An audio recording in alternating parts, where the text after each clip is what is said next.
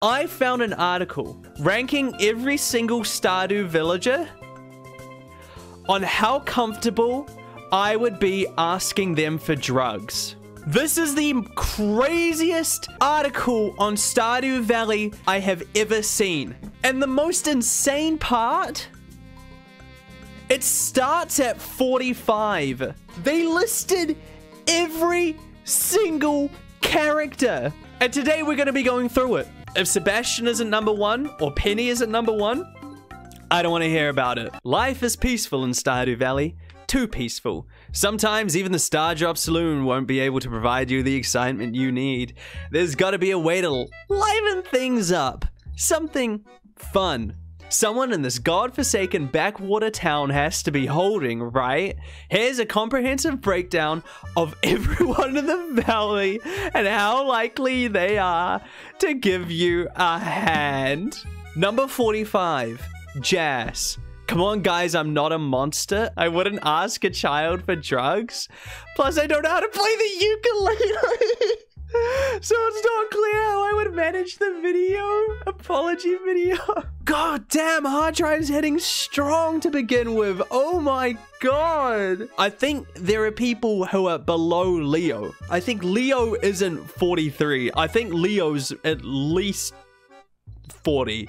Number 44, Vince. Look, I told you. I told you there were people who, who Leo was above. This is mostly a tie with the previous entrance. You don't want to bring the kids into this. I get it. The one thing that bumps it up a spot is that prob Vince probably wouldn't even understand what I meant. So he wouldn't be traumatized by this interaction. His dad definitely gets high. What to deal with the PTSD? But I'm sure if he keeps it all in his room, I don't think about what Jas has seen Shane get up to firsthand. What? What are Kent and Shane getting up to? My biggest question is what drugs are they? Since it's small town America, you'd think the most common one would be meth. Or are they talking about like marijuana because I really think it depends on which what drugs we're talking about. Heroin, I'm going with Penny. Demetrius, Demetrius would be a fucking narc, dude. He'd be able to make it for you, but he would he would be like, I'm going to the police instantly. Demetrius would try to persuade you that the world of contemplation was the only life worth living and that getting abusing substances would risk degrading your rational mind. Dude, he's such a wet blanket, dude. Maru's probably out smoking joints with Sebastian and she's just like I want to get away from dad. Number 42, Marnie. Do not ask Marnie for drugs. She's already noticed that someone has been stealing from her inventory, particularly a stock of ketamine. Obviously, it's Shane, but she's not ready to admit that. If you give her an excuse to blame you, she's gonna contact the authorities. What authorities? There's no police in Stardew. Who's the police? This guy? Morris? Morris, besides you look just looking like a total narc, JojaMart absolutely drugs their drug test their employees constantly. When your farm fails and you're forced to return that comically large work computer, they'll automatically reject your application. My farm won't fail because what do they think I've got growing in between the wheat, dude? The bouncer? There are two types of bouncers. One is your dealer, and the other is this guy? No, see, I can't agree with this. I know he doesn't let you into the casino, but look at those sunglasses. You think those eyes aren't bloodshot? Wait, where the fuck is Leo? Where, where's Leo? This dude said, I'm not a monster. I wouldn't ask a child for drugs, but uh, apparently Leo doesn't count with that. Number 39, the governor. Obviously, it's not a great idea to ask the state's head boot for drugs. Disagree. How many Republicans do you think are snorting cocaine? I think our head of states are the ones who are the most drugged up. Look at what he's wearing. He's practically wearing like a pimp outfit. Like, you're telling me this dude doesn't carry around baggies of stuff? This is going to be demonetized, isn't it? Number 38, Penny. I strongly disagree. It's always the ones that you least expect. I bet these people think drug dealers are like these like, uh, around the corner, scariest people you've ever seen, dodgy. No, drug dealers usually look like this. And can I just point out,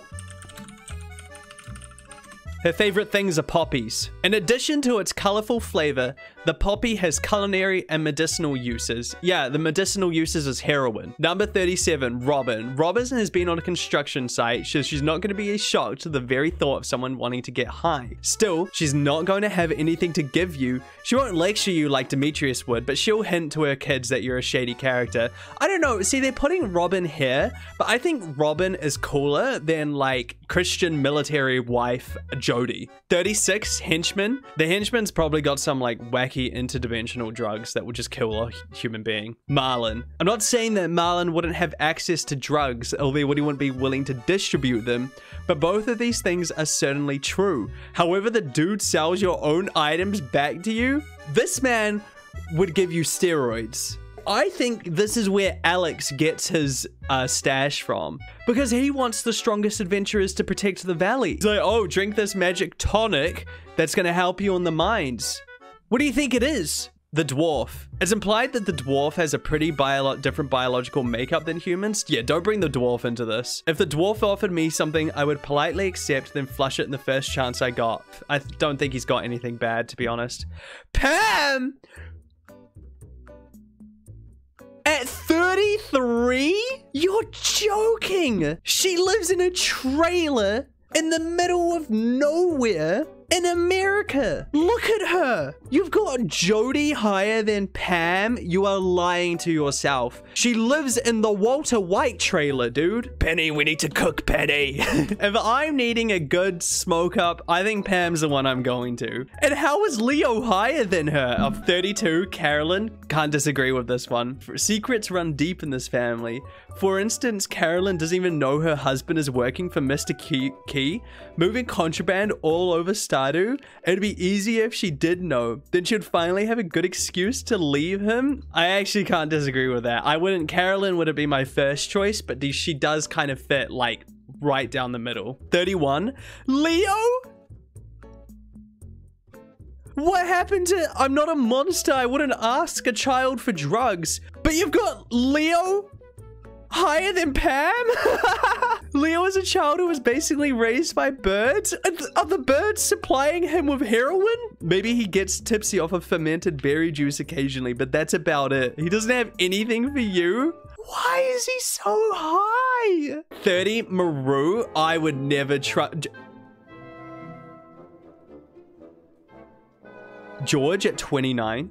The implication that George is at 29 is that Evelyn is also on this list, and Evelyn is in the top 30. I personally think George needs something to get the pain off, you know? Evelyn bakes him a few special cookies now and then, you know what I mean? First of all, George is just really mean. That's not a vibe I'm trying to connect with. Also, since he keeps posting quests for random items to re relieve his various aches and pains, Oh, I doubt Harvey has been giving him the good stuff at the clinic. Okay, that's a good argument against my point. If he was always asking for stuff, that is a that's a good argument. I do appreciate that. Gus, that's crazy. Gus prides himself on running a clean bar, despite the fact that Sebastian is literally dealing in the pool room. That is true. If you're after alcohol, then yeah, obviously Gus is the guy to see. If you ask for anything else, you'll get kicked out. I think Gus probably worked a few dive bars in his life. Like, I don't know if older Gus would be the one to get you drugs. But if you were to hit up 27 year old Gus, you'd probably get the cleanest shit in America. 26 Evelyn? Evelyn is an old hippie from way back, but she doesn't want anyone to know that. She literally wouldn't be able to take George's shit every day if she weren't high. That's what I'm saying. I totally agree with this. Evelyn has to be drugged out of her mind to make the pain of her relationship go away. She would be like, oh, George is acting up again. Time for Time for my cookies! 25. Sam. Sam was straight edge until the day he turned 21. He dr- What? No way, dude. He drinks now but hasn't experimented any further. Honestly, he still feels a bit guilty about the drinking, but there is no way Sam, the guitar player in a band with Sebastian, skateboarder, hasn't done any drugs. He's best friends with the goth chick and Sebastian, who had a bong in his room. Clint? The, the, this is wrong. Clint tried weed once and it gave him a panic attack. That I could see. Grandpa! So most people wouldn't ask their dead grandfather for drugs. but this is the guy who wrote you that whole heartfelt letter about escaping the rush of modern world and returning to a simpler life. Grandpa and Evelyn definitely ran together in their hippie days. I've always had that personal theory that back in the day, Grandpa and Evelyn were like, you know, George didn't do it for Evelyn.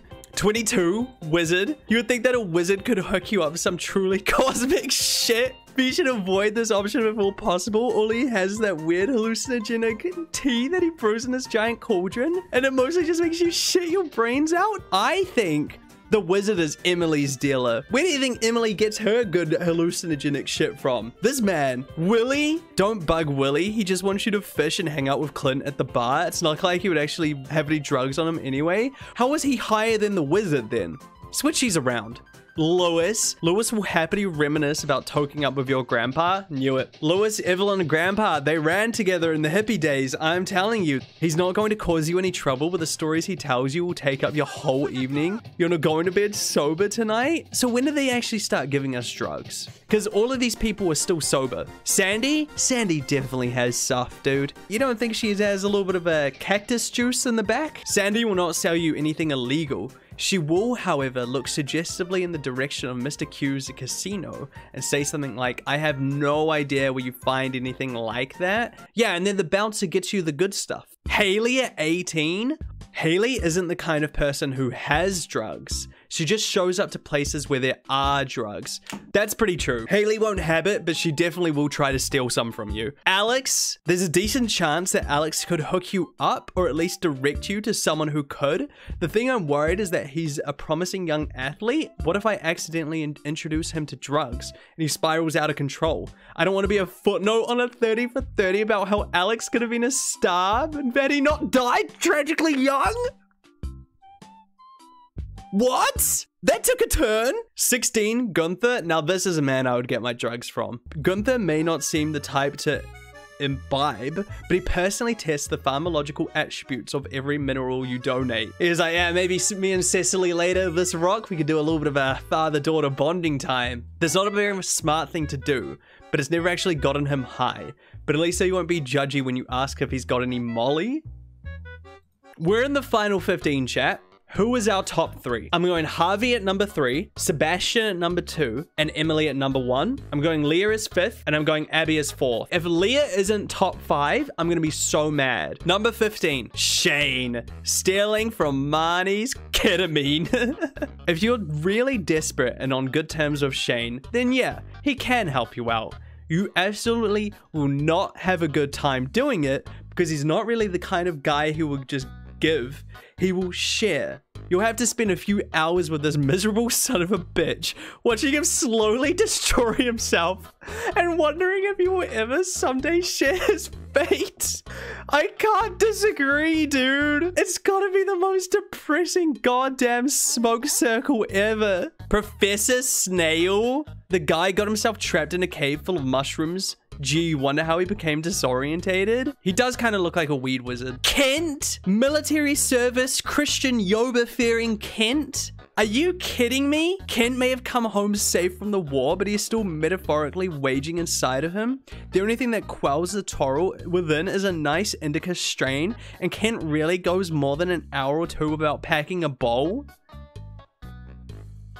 He'll happily smoke you up, but there's like a 1 in 5 chance that you're going to hear some really fucked up shit about how many people he's killed. I can understand the, the medicinal PTSD, you know, for the PTSD, but I don't see it with Ken. He just wants to fish. Also, Nightmare Blunt rotation Ken and Shane. Where's Jodi? I don't. Where's his wife? There is no way that Yoba fearing housewife, military wife Jodi is in the top 12. 12 Linus. Now this is a boy that I expected. Linus is gonna get you that homegrown, straight from the forest, good shit. It's gonna be like it's straight out of the 60s, dude. It's gonna be covered in leaves, but it's gonna be the craziest stuff you've ever smoked. Not that I would know. I'm a good family-friendly content creator here. Linus doesn't have anything for you no, what? He had a really bad reaction to some anti-anxiety medication a few years ago? What? Like scary bad ever since he has sworn off any mind-altering substances? with an exception of a bear every now and then. I just put him this high on the list because you should really make time to visit Linus. He doesn't have anyone. What? This is an insane take, dude. This is this is the worst take yet. Linus definitely has his own stash growing somewhere in Cindersap Forest or up in the mountains, and if you go visit him around that campfire at night, he's giving you like a whole bunch of it. Where do you think Seb gets his goods from? You know? He's not walking to town for that. He's going up into the mountains. Number 11. Jodi? Oh, come on, bro. There is no chance. There is no chance, dude. Jodi actually grows her own weed, but follows the state guidelines for personal use very strictly. There's still plenty to share, but she doesn't want her kids to find out she's growing, so you have to be subtle. Also, when Ken is home, he ends up smoking most of it anyway. This is the fattest owl. That, okay, can I just point out, Carolyn has a tea house. Do you think Carolyn, do you think this is, do you think this is tea? Does this look like tea? Do you think she hides in this room from Pierre to drink tea? No, dude. Her and Abigail going in here to put up with his shit. Jodi has her own stash. What do you think this is for Carolyn, bro? I can't believe they put good Christian housewife Jodi this high up and Carolyn in the 30s. Top 10. Harvey?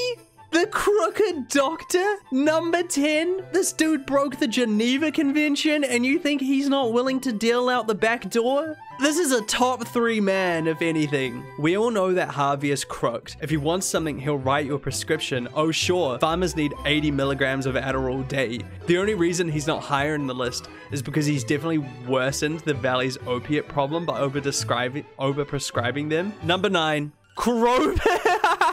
Krobus! You can get some otherworldly shit from Krobus, and I mean that in a literal sense. No, dude. He can hook you up with that stuff that will let you commune with Yoba. That's gonna be crazy. That'll send you into another dimension, bro. Emily? Emily at number eight? What? That's so high for her. Emily is high for every shift she works at the saloon. Yes, girly, get it. She also does shrooms sometimes when she's making clothes because she says it helps with her experience the textures of fabric better. She would definitely be down to trip with you. Number eight. Every time you talk to her, she's in the fourth dimension. This is literally one of Emily's cutscenes. She's talking to interdimensional beings. She's should be willing to share. God, that means Elliott's higher than her. Leah at number seven. Yeah, Leah is cool. Understatement of the year. No surprises there. She's pretty much always stoned while she does her art, and her mushroom hunts in the woods aren't just for culinary purposes. She's definitely on the chill side, so if you're looking for something that will get your heart rate up, she's not your girl. She's such a, like, how do you think she gets, okay, you have to be stoned to understand this, because this makes no sense. What is this? It's just a circle. The only people in the valley who can actually appreciate this art is Leah and Emily. One of the statues that she builds is literally just two guys jumping on each other's heads. You're gonna be in another dimension to come up with that. Number six. Abigail. This one is pretty obvious. Her parents are worried about her alternative lifestyle. She's into the occult. She spends a weird amount of time looking for frogs in the rain. Abigail can hook you up with the stuff you've never heard of. Just be prepared for a profoundly weird hangover. Uh, six? Elliott is higher than her? There's no chance, bro. Pierre is higher than her? Her dad? Sebastian at number five. Sebastian self-medicates a lot. He nothing has actually made him feel better, but he keeps trying nonetheless. He recently started dealing on the side in a misguided attempt to rebel against his parents. He'll smoke you up, but you'll have to sit and listen to him babble about his philosophical nonsense and whine about his stepdad. He had a bong. This is it's the it's literally the biggest indication. He canonically does drugs. Canon quote from Robin. I found an ashtray in Sebastian's room and it smelled really weird. Should I be worried about this? Canon quote from Robin. Let's go to number four. Elliott, an aspiring novelist who lives in a beach cabin and spends a good amount of time on the bar. Yeah, this guy's got coke. I mean, yeah, okay, the coke I can understand. This guy's definitely got the, I think he's definitely hit the slopes a few times in his life. Wait, so who's left? You've got Pierre, Lewis, and Birdie?